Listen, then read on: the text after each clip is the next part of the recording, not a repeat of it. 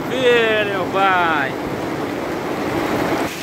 Pense numa chuvinha grossa, menino. Pingo grosso, hein? Tá começando. Olha lá dentro, no reservatório. Por enquanto tá só de passagem. Daqui a pouco ela chega com força, se Deus quiser. Oh, meu Deus. Obrigado, meu pai.